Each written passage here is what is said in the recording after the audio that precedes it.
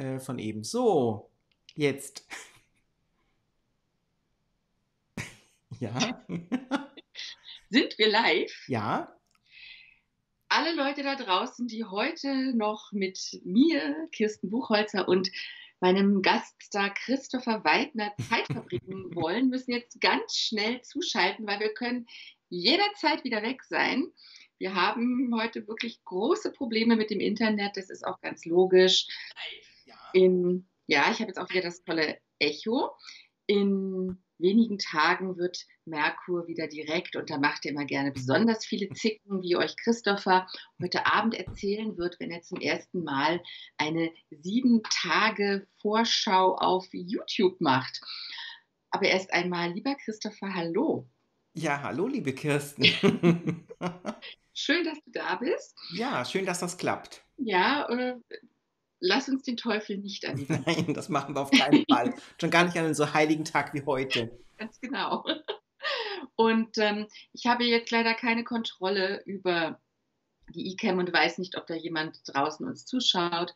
Äh, ich muss auch Christopher das Kommentieren abgeben, weil meine eCam heute ihren Geist äh, gerade aufgibt.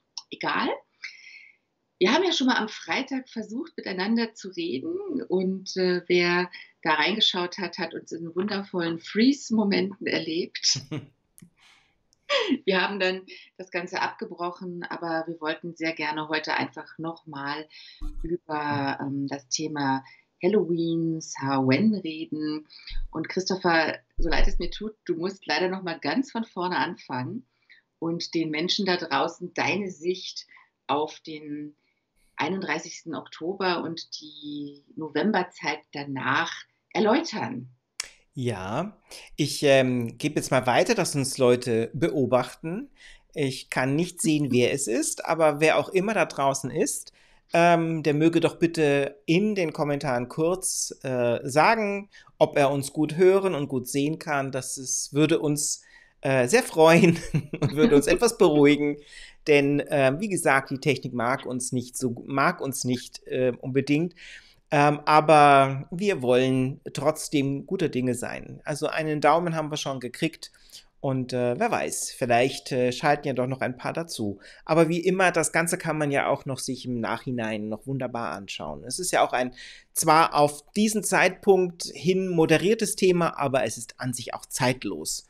Denn ich, äh, das ist jetzt meine elegante Überleitung zum Thema, denn das Thema ist ähm, eigentlich die Vergänglichkeit. Und Vergänglichkeit ähm, ist etwas, was uns zwar in diesen Tagen jetzt, wo der Herbst sozusagen in voller Pracht im Gange ist und auch schon wieder, und man merkt, das finde ich ganz deutlich, was ganz, selbst was ganz Vergängliches ist, denn wir gehen straff auf die kalte Jahreszeit zu und äh, diese schönen Momente, diese schönen goldenen Oktober und den sonnigen Herbst, äh, das ist auch etwas äh, ganz Kurzlebiges. Und das sind die Themen dieser Zeit.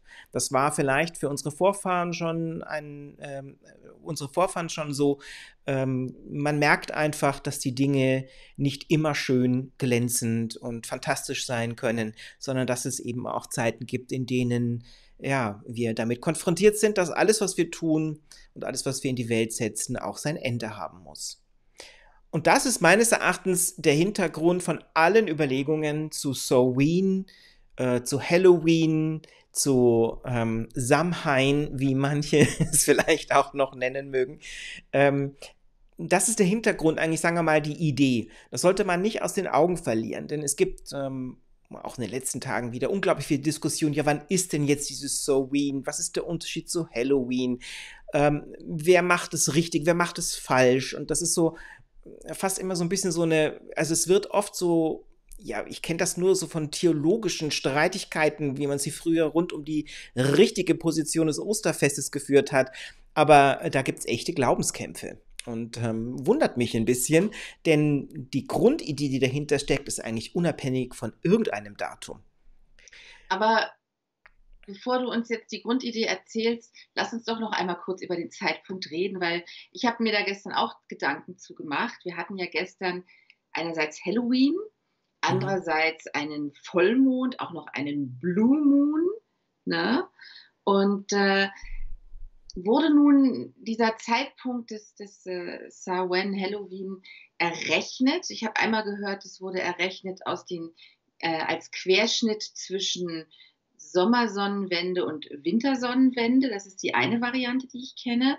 Die andere besagt, dass der erste Vollmond in der äh, Herbstzeit ist oder sonst etwas. Ähm, mhm. Sag doch mal einfach, welche Theorien da im Raum stehen. Also ähm, ich glaube, es gibt unzählige Theorien. Die bekanntesten sind die, also zunächst einmal die allerbekannteste, ist die, dass Samhain, das tatsächlich ein irischer äh, Feiertag ist, daher auch das irische Wort dafür, ähm, dass dies eben am in der Nacht auf den 1. November ist ähm, sprich am Abend des 31. Oktober. Das liegt daran, dass die alte Zählung eines Tages immer mit dem Sonnenuntergang begann. Also das heißt, ähm, der 1. November beginnt am Abend des 31. Oktober. Das ist eine alte Tradition, die es auch übrigens in der katholischen Kirche heute noch so gibt. Aber als die Kelten gelebt haben, gab es ja sicher noch keinen 31. Oktober, oder? Ich dachte, den gab es, nur sie nannten ihn wahrscheinlich nicht so. Es gab natürlich nicht diesen Kalenderpunkt, aber es gab diesen Zeitpunkt. Und man muss dazu wissen, diese Kalenderpunkte, die sind ähm, definiert nach dem Sonnenlauf. Das ist sozusagen die erste, das muss man sich immer bewusst machen. Wenn ich sage, äh, ein bestimmter Tag im Jahr hat eine bestimmte Bedeutung, dann mache ich das, weil ich, weil es eigentlich ein Sonnen, weil wir einen Sonnenkalender verwenden und dann kann ich eben immer sagen, immer wenn die Sonne an einem bestimmten Tag auf oder untergeht, ähm, das kann ich am Horizont festmachen, hat ihren eigenen fixen Punkt am Horizont, äh, je nach Gegend, wo ich mich befinde und das ist dann ein bestimmter Tag. Und so sind ja auch äh, viele Kalenderbauten, die wir kennen, über die Welt konstruiert. Ob das Stonehenge ist, ob das Gosek in Deutschland ist, Pömmelte an der Elbe und so weiter.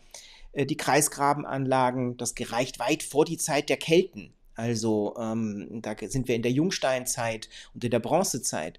Äh, da ist von Kelten und Germanen noch gar nicht die Rede. Und da mhm. wissen wir, dass die Menschen die Sonne beobachtet haben und äh, wenn sie an einem bestimmten Tag zu einem, ähm, an einer bestimmten Stelle des Horizonts aufgeht, dann haben sie diesem Tag eine bestimmte Bedeutung zugemessen. Das ist mal die Grundlage.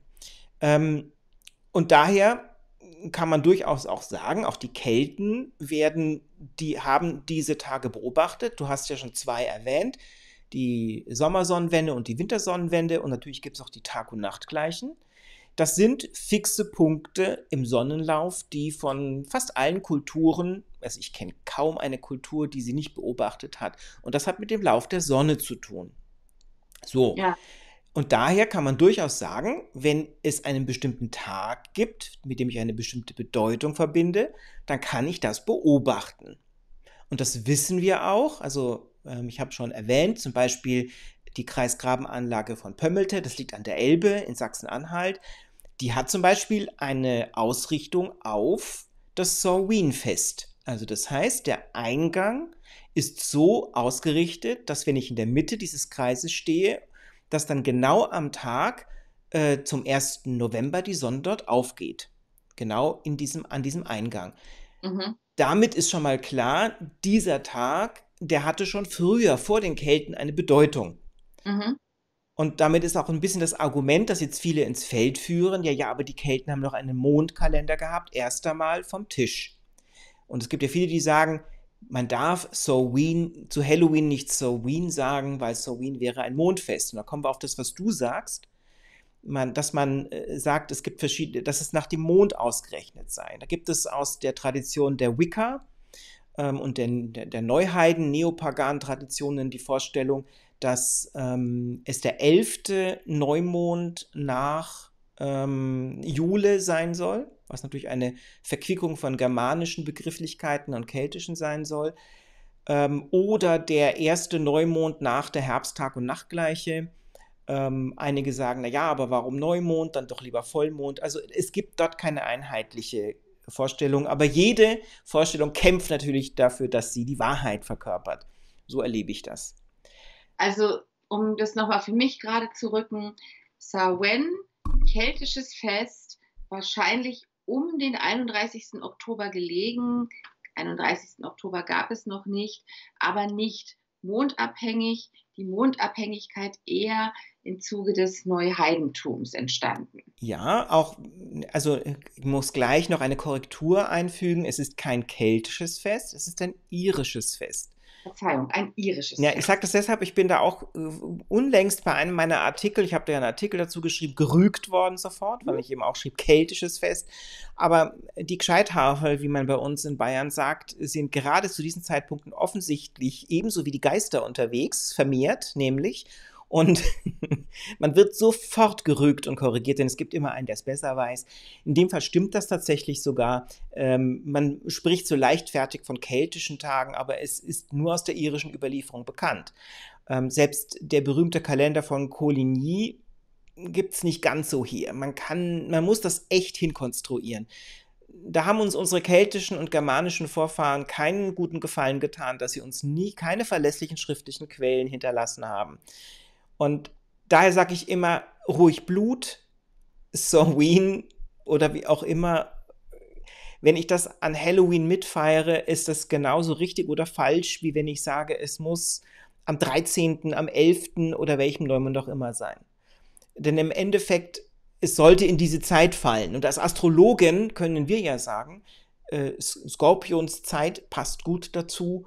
Aber wir würden doch auch nicht einfach sagen, äh, Skorpion ist ein Termin, sondern es ist eine Zeitphase. Und so denke ich, haben wahrscheinlich unsere, ist mein, Gedanke, unsere Vorfahren haben eher an Sowin wahrscheinlich weniger als an, an einen bestimmten Tag gedacht. Ähm, vielleicht haben sie einen bestimmten Tag gehabt, an dem sie bestimmte Riten vollzogen haben, bevorzugt. Und das mag die Nacht auf den 1. November gewesen sein. Aber Sowin war sicherlich nicht nur ein Termin, der richtig ist. Also, das ist meine Meinung. Und deswegen ist es auch nicht so schlimm, dass wir uns heute darüber unterhalten. Nein, überhaupt nicht. nicht am Freitag. Ähm, okay, du hattest gerade über Inhalt geredet. Mhm. Bevor mhm. wir über den Inhalt gehen, äh, reden, nochmal bitte die Abgrenzung Samhain Halloween. Also ähm, Samhain ist, wie gesagt, die irische Bezeichnung. Das ist auch überliefert. Ähm, und es ist, ähm, Halloween ist sozusagen die einem, eine popkulturelle Variante davon, die aber darauf zurückgeht. Mm, in der, in der großen Auswandererbewegung 18. bis 19. Jahrhundert ähm, der Iren nach Amerika haben die natürlich ihre Festivitäten mitgenommen und unter anderem natürlich auch so Traditionen wie Heischebräuche, die man zu diesem Zeitpunkt schon in Irland vollzog, also von Haustür zu Haustür zu gehen, ähm, sich zu verkleiden, möglicherweise in Geistergestalt, aber auch der berühmt-berüchtigte Kürbis, ja, der ja eigentlich in unseren Gegenden gar nicht vorkommt, ist ja keine mitteleuropäische Pflanze, sondern eine amerikanische, die hat ihr Vorbild im Jack O'Lantern, man hat also weil man, gar, weil man ja keine Kürbisse in Europa kannte, hat man Rüben ausgehöhlt und geschnitzt. Die nennt, nennt man Jack O'Lantern äh, in, im, im irischen Kontext, aber auch die gibt es auch bei uns im Allgäu, die Rirbegurster, also hoffentlich spreche ich es richtig aus. Und alles alte Bräuche, die zu diesem Zeitpunkt stattfinden, wo man irgend so ein Gewächs aushöhlt und eine Kerze reinstellt. Und ähm, das haben natürlich die irischen Auswanderer mitgebracht nach Amerika. Dort hat sich das, wie alles in Amerika, Think Big, äh, natürlich noch ganz anders entwickelt und ähm, wurde zu einem, ja, regelrechten Popkult, würde ich jetzt mal sagen, ähm, ohne viel spirituellen Hintergrund. Und der Name Halloween stammt auf, aus dem Englischen von All Hallows Eve. Und äh, weil nämlich seit dem 9. Jahrhundert der 1. November der Tag aller Heiligen ist, also der heutige Tag, ähm, und das auf Englischen eben der Abend davor All Hallows Eve heißt. Der, der Abend vor Allerheiligen aus All Hallows Eve wurde dann Halloween. Und ähm, das kam dann sozusagen wieder über den großen Teich äh, zu uns zurück im Zuge der Globalisierung. Mhm. Und jetzt feiern wir halt Halloween. Und darum habe ich ja auch schon seit gestern, ich bin da völlig konsequent, mein orangefarbenes, kürbisfarbenes äh, Teil an. Ich glaube, das hattest du schon am Freitag an. Ja, ich bin da völlig konsequent. bis es vorbei ist. Aber ich habe schon noch andere Dinge zum Anziehen, keine Sorge. ähm, okay, habe ich verstanden. ähm, jetzt? Äh, gibt es Fragen da draußen, äh, bevor wir weitergehen? Oder hören alle uns gebannt nur zu? Es, es ist auf alle Fälle als Feedback, äh, wir haben eine super Tonqualität, äh, man grüßt uns und äh, wir sind gut hörbar und gut sehbar. Noch jetzt. keine Fragen. Das ist gut. Also stellt bitte eure Fragen. Ihr seht, ihr habt hier einen Experten äh, vor euch, der euch da noch mal ein paar Sachen, Hinweise geben kann. Inhalt des Festes, lieber Christopher. Also man muss es unterscheiden zwischen dem heutigen Allerheiligen, das überhaupt nichts damit zu tun hat, sondern das ist nur der Namensgeber für Halloween. Ähm, ähm, Allerheiligen, wie gesagt, ähm, war ursprünglich mal ein Feiertag, äh, der Sonntag nach Pfingsten abgehalten wurde. Auch heute noch in der griechisch in den orthodoxen Kirchen des Ostens ist das noch so.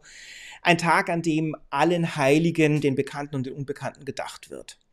Ähm, man vermutet, dass, ich glaube, Papst Gregor ist es gewesen, ganz bewusst diesen Tag an diesen Zeitpunkt verlegte, weil es da eben vorher schon seltsame Umtriebe gab und die Kirche hatte ähm, irgendwie immer schon, das war ihnen immer schon ein Dorn im Auge, also haben sie es da hingelegt. Hat also mit unserem Thema nicht viel zu tun. Ja. Ähm, eher das, was wir jetzt tun an diesen Tagen, an Allerheiligen und auch natürlich morgen noch an aller Seelen, das gehört nämlich dazu. Diese beiden Tage sind ja traditionell verknüpft mit Gängen auf Friedhöfen.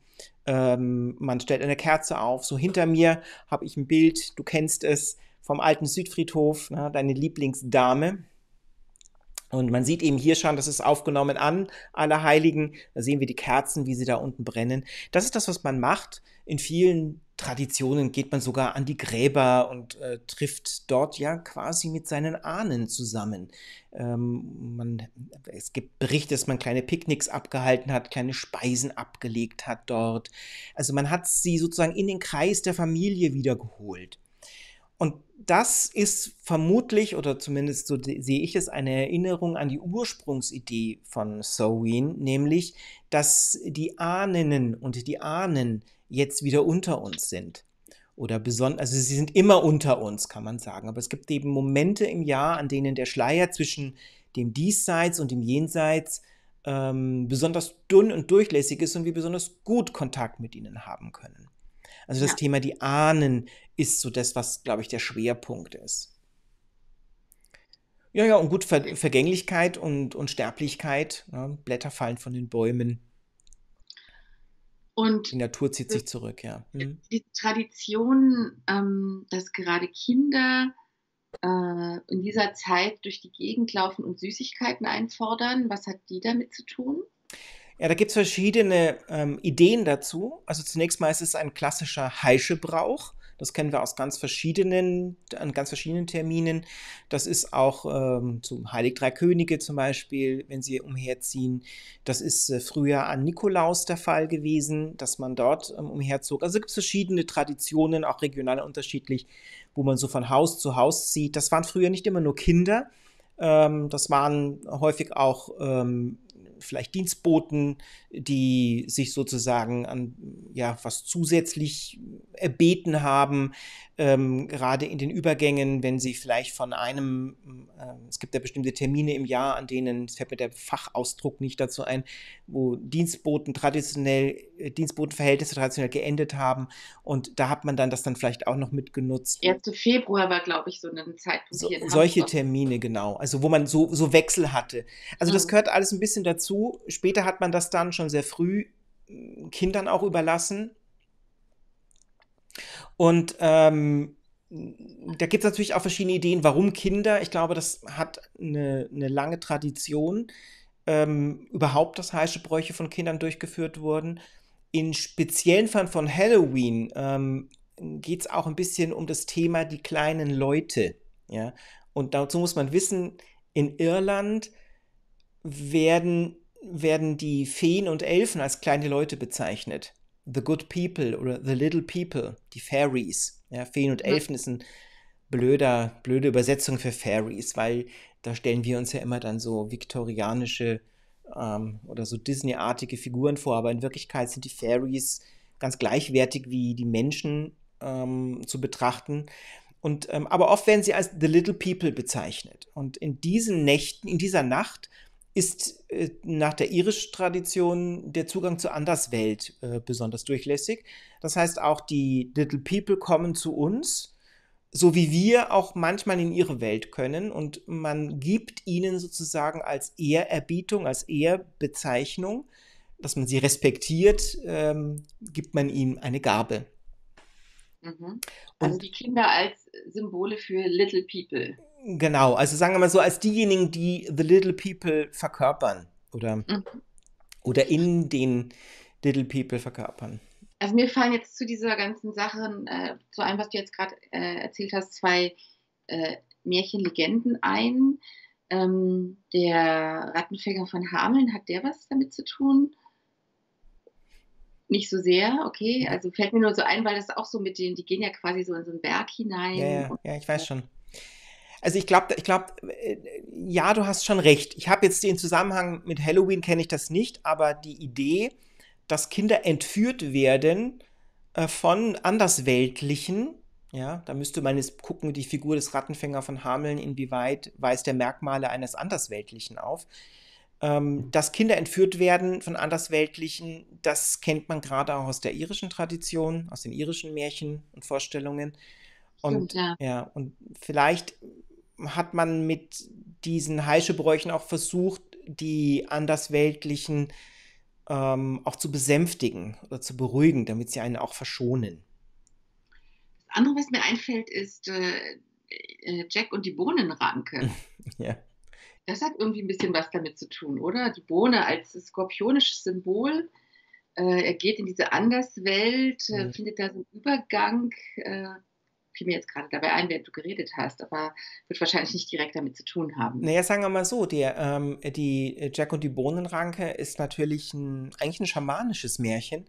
Denn ähm, in, der, äh, in, der Tradition des sogenannten Chorschamanismus gibt es ja diese drei Welten, die obere, die mittlere und die untere Welt. Und der Aufstieg in die obere Welt, der kann durch so eine Bohnenranke symbolisiert werden. Das ist praktisch die Axis Mundi, die Weltenachse, auf der wir dann sozusagen wie auf dem Baum des, äh, des Lebens auf- und absteigen können, indem wir dann die Welten wechseln können.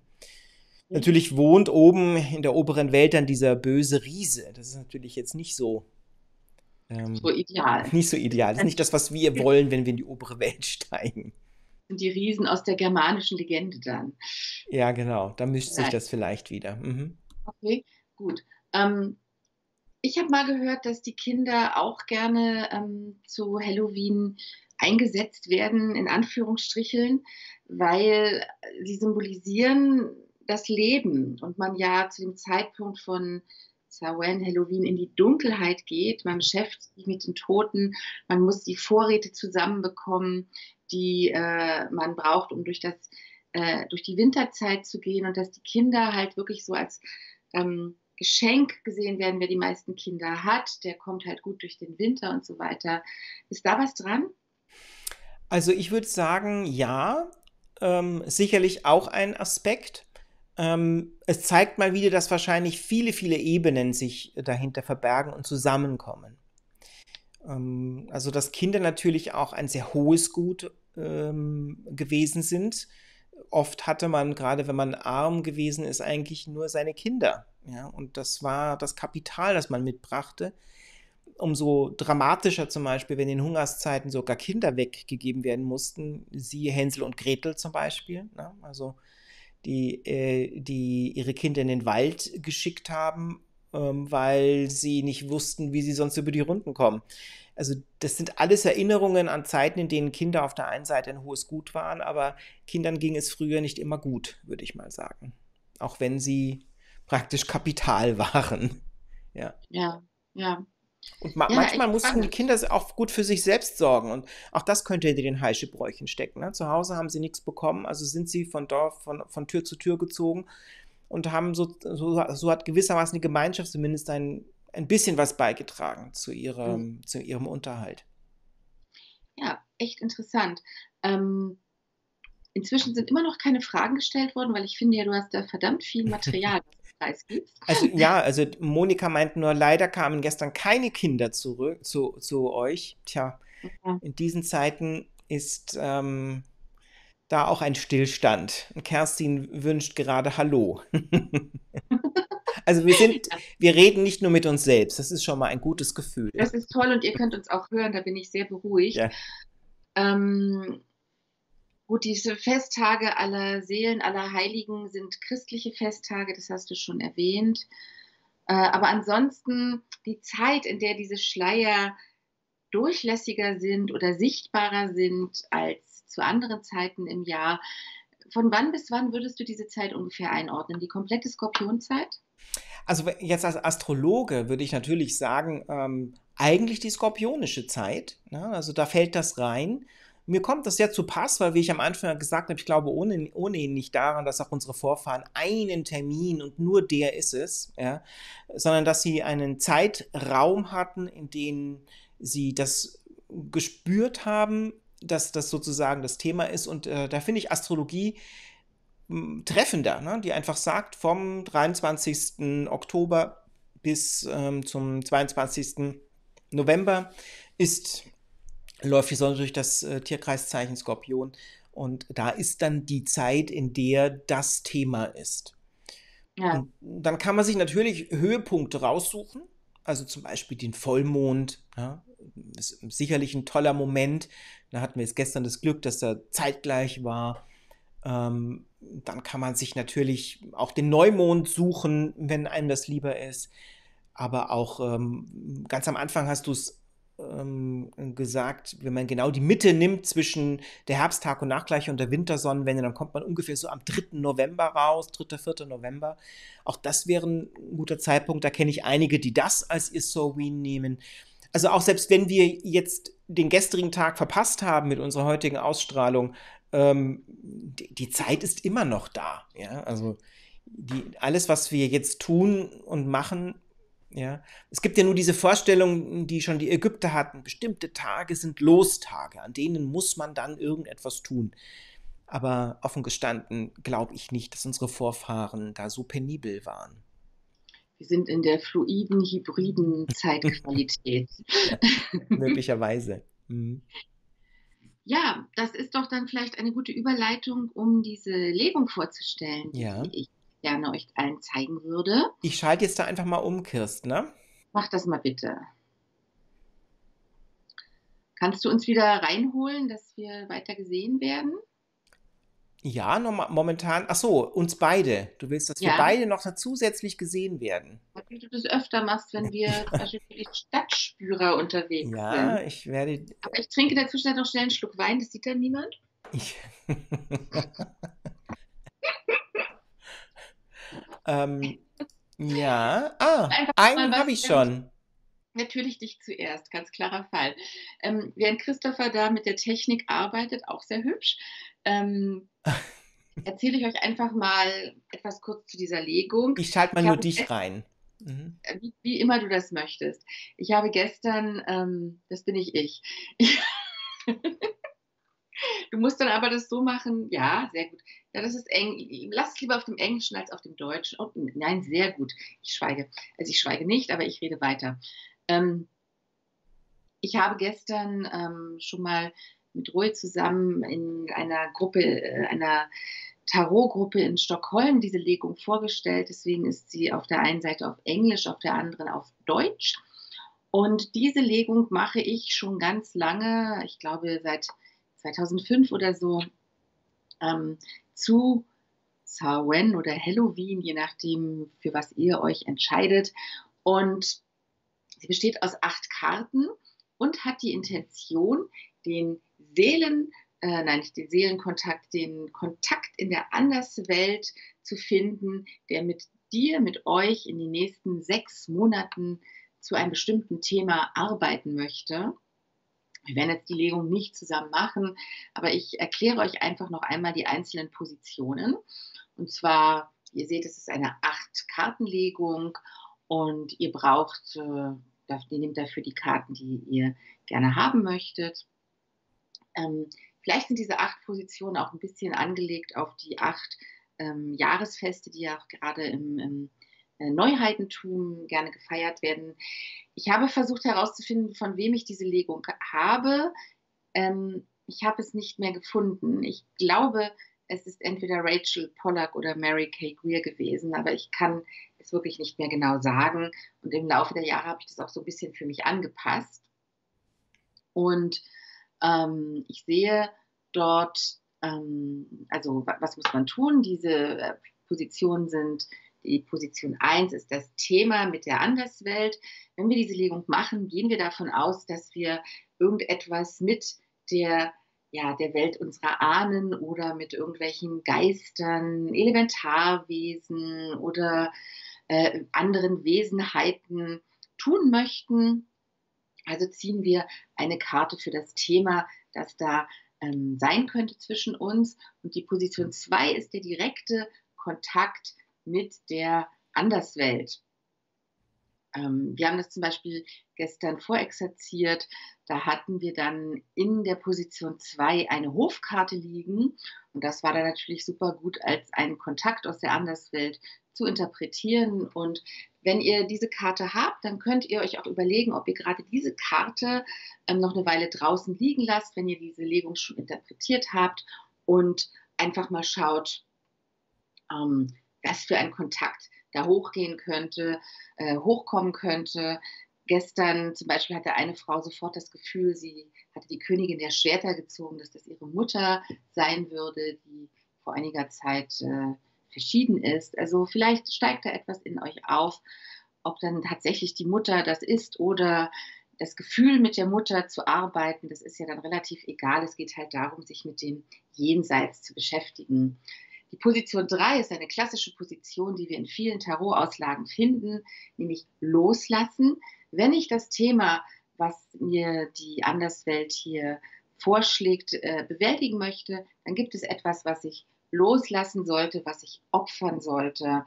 Das sagt die Position 3 und die Position 4 dann auf der anderen Seite sagt, das soll ich aussäen, da soll ich meine Energie reingeben und äh, das soll ich wachsen lassen. Das sind recht einfache äh, Positionen. Die Position 5, die hat gestern ein bisschen Probleme bereitet bei manchen Leuten. Das ist die, der wichtige äh, Seelenaspekt. Damit ist gemeint, dass ihr ähm, hier eine Position habt, warum äh, ähm, arbeiten wir denn jetzt mit diesem Thema? Also welcher meiner Aspekte meines höheren Selbstes, meiner Seele, meines Ichs, wie immer ihr das nennen wollt, soll denn dadurch bearbeitet werden. Und die Position 6 ist dann das Geschenk des Kontaktes an mich. Also was will mir dieser Kontakt schenken, indem er Kontakt mit mir aufnimmt. Dann haben wir die Position 7, mein Geschenk an den Kontakt. Ne, warum also was hat der Kontakt davon, mit mir in Verbindung zu treten? Vielleicht möchte der auch etwas aus unserer materiellen Welt erhalten und glaubt es gerade durch mich besonders gut zu finden. Und die Position 8 ist die Erwartung des Kontaktes. Das überschneidet sich ein bisschen mit der Position 7. Also die äh, tatsächlich erhalte ich, äh, erhält dieser Kontakt etwas von mir ob er das nun will oder nicht. Aber er hat auch ganz, ganz konkrete Erwartungen, die er äh, an mich stellt. Das hat dann wieder was mit der, die würde ich in Verbindung mit der Position 2 lesen, diese Karte. Und ja, da ähm, kann man halt sehen, warum geht er mit mir in Verbindung. So, das ist eigentlich die Auslage. Christopher, du kannst äh, jetzt mal als Repräsentant für alle, die da draußen mit Fragezeichen sitzen, ähm, mir sagen, ob du das verstanden hast, was ich hier erklärt habe? Ja, fand ich jetzt ähm, sehr aufschlussreich, also ich glaube auch sehr leicht verständlich. Ich beobachte gleichzeitig die Kommentarspalte und da hat sich jetzt noch keine Frage ergeben, aber wenn welche da sind, schreibt sie einfach rein, ich gebe das dann gleich weiter. Genau. Also ich stelle gerne diese Legung auch nochmal als PDF ein, dass ihr jetzt nicht hier ewig ähm, euch diesen Screenshot immer wieder, also diese, diese Aufnahme immer wieder ansehen müsst. Aber vielleicht kannst du uns jetzt mal wieder zurückschalten auf normal. Yes. Und ähm, Works like a charm. ich sehe die ganze Zeit steht da oben Christopher Weidner. Bei mir nicht. Ah, interessant. Dann heißt es vielleicht, dass du Christopher Weidner bist und mir das gesagt wird. Ja, Spannend. wahrscheinlich. Also ich denke mal, ähm, seht ihr irgendwie meinen Namen? Also sonst sieht ich sehe keinen Namen auf der Aufnahme. So. Ansonsten, das bin ich im Zweifel. und Kirsten Buchholzer ist sozusagen die Moderatorin dieses Gesprächs. genau, und äh, wir geben uns ja da äh, nichts. Ja, ich denke, das ist das Wichtigste, was wir ähm, heute loswerden wollten. Ich bin froh, dass die Leitung gehalten hat. Aber Christopher, wir wollten jetzt natürlich noch einen kleinen Werbeblock einschalten. Ja, Werbung. Genau. Rita, Rita schreibt übrigens, nein, da ist nichts zu sehen. Sehr gut. Dann habe ich vielleicht auch Halluzinationen. Ja. Das ist was möglich. Ähm. Monika sieht Kirstens Name. Also, das scheint sich. Ja, da steht Kirstens Live-Chat, steht ja unten drunter. Wahrscheinlich ist ja. es das, ja. Das, gut, dann ist alles gut. Dann ist alles gut. Ähm, ja, kleiner Werbeblock. Ähm, Kirsten und ich, wir sind ja ein mittlerweile gut eingespieltes Team, wie einige von euch wissen, und machen ja ähm, auch ähm, über Astrologie, machen wir so kleine Lehreinheiten, nenne ich es jetzt mal. Eher auch für uns sehr vergnügliche Diskussionen zu den Tierkreiszeichen und zu den Planeten. Wer, wen das interessiert, der soll auf dem Kanal der Geheimnisakademie mal vorbeischauen und äh, seit äh, kurzem auch auf dem Kanal von Phoenix Astrologie, denn äh, da haben Kirsten und ich ähm, eine, ein kleines Projekt, nämlich drei Vorträge, drei Online-Vorträge, die wir im November starten möchten. Ähm, und zwar beginnt mit dem 11.11., .11., das ist der Martinstag. Um 19.30 Uhr werden wir einen Online-Vortrag machen zum Thema die Konstellationen des Jahres 2021. Ähm, Chancen und Herausforderungen, wie auch immer man das untertiteln möchte. Also da geht es dann ganz allgemein darum, dass wir ähm, uns mit den astrologischen Themen des kommenden Jahres beschäftigen. Das machen wir wie immer äh, im Gespräch miteinander, auch mit vielleicht manchmal unterschiedlichen Positionen. Da könnt ihr dann euch selber ähm, eure eigene Meinung bilden. Und ähm, dann haben wir noch zwei äh, darauffolgende Vorträge. Einmal dann am sieben Tage später, am 18. Ähm, auch um 19.30 Uhr wieder ein Mittwoch. Da machen wir das Ganze dann im, äh, für die einzelnen Tierkreiszeichen, die einzelnen Sternzeichen, und zwar von Widder bis äh, Jungfrau. Und am 26. Äh, es ist allerdings ein Donnerstag dann um 19.30 Uhr, ähm, haben wir dann äh, die, den zweiten Teil dazu, nämlich für die Zeichen Waage bis Fische. Da gehen wir also wirklich ganz ausführlich und konkret auf die einzelnen Tierkreiszeichen ein, was sie zu erwarten haben, wo sie Glück haben werden und wo Pech. Ich sage das jetzt mal ein bisschen reißerisch. Ähm, und ähm, da könnt ihr euch jetzt schon anmelden dazu. Ähm, ich finde, wir sind da sehr wohlfeil. Wir haben pro Vortrag einen Obolus, wenn ich das erwähnen darf, von 12 Euro veranschlagt. Den äh, Plätze sind allerdings begrenzt, um, muss man vielleicht auch sagen. Und das Ganze wird in Form eines Online-Vortrags sein, äh, bei dem ihr auch via einem Chat teilnehmen könnt. Also ihr werdet uns hauptsächlich uns sehen und uns reden hören, aber ihr könnt Fragen stellen über den Chat. Da freue ich mich sehr, wenn, ihr, wenn ich den einen oder die andere von euch dort sehen könnte. Anmeldungen über www.phoenix-astrologie.de. Ich werde das auch nochmal in die Show Notes schreiben. Ist ja wieder alles durcheinander gekommen, dadurch, dass wir jetzt anders starten mussten. Ich bearbeite nachher hier dieses Video. Ähm, wir sind übrigens auch jetzt gut auf YouTube vertreten mit den Kanälen von äh, Christopher und auch von mir. Ich mache jetzt ja jede Woche immer ein Wochentaroskop auf YouTube. Das habe ich heute auch wieder gemacht unter erschwerten äh, Merkur-rückläufigen Umständen.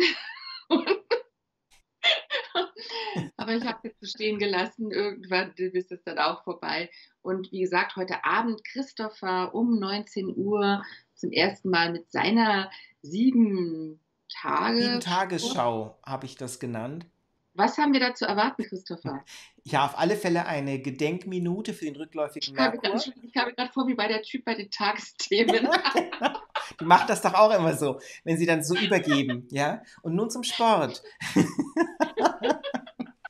Ja, also es wäre ja schön, wenn ich mich in Sport besser auskennen würde, aber die Sieben-Tagesschau soll eine Vorausschau für die kommenden sieben Tage sein. Ich gehe dann so jeden Tag mit den Hauptkonstellationen durch. Ähm, ich mache es zum ersten Mal. Vielleicht habt ihr Lust vorbeizuschauen. Auf dem Facebook-Kanal von Phoenix Astrologie findet ihr das und später auch auf YouTube. Also einfach mal gucken, was, was draus wird. Und ähm, ja, wie gesagt, ich kann nur Astrologie. Ich mache deswegen das anhand von astrologischen Konstellationen.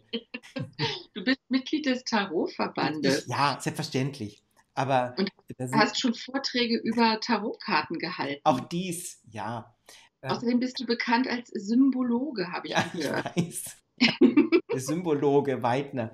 Ähm, ja, in jedem Fall freue ich mich drauf und äh, vielleicht machen Kirsten und ich irgendwann mal ein Joint Venture und dann machen wir mal was zusammen, wo Astro und Tarot, was ja wirklich sich gut, ähm, äh, gut miteinander verknüpft. Äh, Rita fragt noch, ähm, ja, da schreibt man Phoenix mit OE, also P-H-O-E-N-I-X, Phoenix astrologie.de, phoenix-astrologie.de, wenn man es ganz genau sagen möchte. Ja. Ja, das war der Werbeblock. Sehr gut. Ja, und für alle, die äh, jetzt nicht der Meinung sind, dass Christopher nur Astrologie kann, ich finde, er hat heute bewiesen, dass er doch noch auch ein paar andere Sachen kann. Die lassen jetzt bitte ein Like hier ja. unter diesem Video, damit es sich noch andere Leute anschauen. Nächstes Jahr haben wir dann eine Konserve, die können wir einfach wieder abspulen, damit wir diese technischen Hindernisse nicht mehr haben werden. Ähm, aber vielleicht machen wir auch nächstes Jahr mal wieder Präsenzvorträge äh, äh, oder sonst etwas. Man weiß es nicht. Ähm, auf jeden Fall von meiner Seite, ich wünsche euch, dass ihr jetzt gut startet in die kommende Woche, die ja sicher mit einigen Schwierigkeiten für uns alle verbunden ist. Ähm, und äh, Christopher wird uns auch erklären später, warum, wieso, weshalb das so ist. Da bin ich mir ganz sicher. Ich habe da gerade nicht so viele Antworten drauf, aber das ist ein anderes äh, Feld. Ja. Möchtest du noch etwas sagen? Nein, ich bedanke mich, ähm, dass ich heute hier zu Gast sein durfte und ähm, freue mich auf eine nächste Gelegenheit. Und euch da draußen noch eine schöne Soween-Zeit. Genau, die wird sich bieten. Macht jetzt noch eure Legung. Ihr habt jetzt viel Zeit daheim. Äh, wenn ihr Fragen zu der Legung habt, könnt ihr die auch gerne hier posten. Ähm, ich schaue in die Kommentare rein, kann euch dann vielleicht nochmal einen Hinweis geben. Wenn ihr Fragen zu Halloween und Samhain habt, dann bitte Christopher die Fragen stellen. Ja. Gut. Christopher, du hast die Kontrolle über das Ende des Videos. Das überlasse ich dir jetzt. Ich werde dies nutzen. Auf Wiedersehen.